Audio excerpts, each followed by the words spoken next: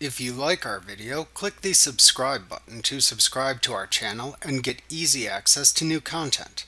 To see our full suite of ad-free video courses and training materials, visit us at teachucomp.com. You can use the fixed asset item list to track your individual fixed assets. You can use this list to enter information about the purchase price of an asset, its purchase date, and whether the asset was new or used at purchase. You can also enter the asset sale price if you decide to sell the asset at a later point in time. To open the fixed asset item list, select Lists, Fixed Asset Item List from the menu bar. To then add a new fixed asset to the fixed asset item list, click the Item button in the lower left corner of the list window and then select the New command from the pop-up menu. In the Asset Name slash Number field, type the name or number of the asset.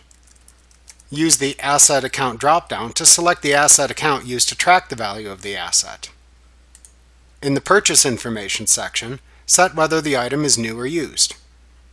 You can type a purchase description into the next text box.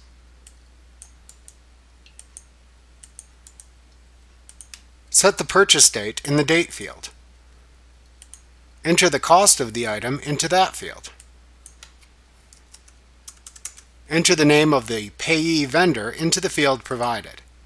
Then enter any optional information you want to track in the Asset Information section. When you later sell the asset, you can edit the item and then enter the sales information when it is sold. To enter custom field information or create custom fields, click the Custom Fields button at the right side of the window to open the Custom Fields dialog box.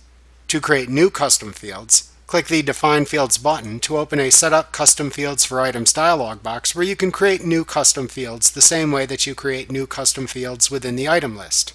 Then click the OK button to return to the Custom Fields dialog box. Then enter any values for the fixed asset item into the custom fields shown in the Custom Fields dialog box, and then click the OK button to return to the new item window. Then simply click the OK button when you are finished. Remember to click the subscribe button to see more of our videos. Get ad-free courses at teachucomp.com.